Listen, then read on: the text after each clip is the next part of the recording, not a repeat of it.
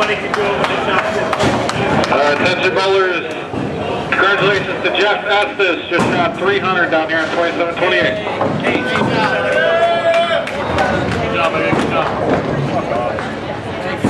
Somebody's done that before.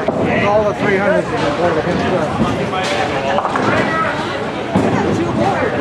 of.